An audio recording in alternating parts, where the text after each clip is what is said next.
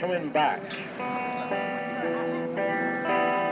to the Thames foreshore outside the Oxo Tower Wharf in London.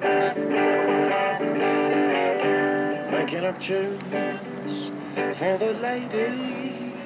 You only find the most beautiful ladies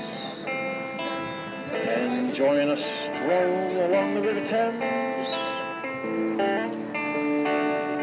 enjoying the smell of the River Thames,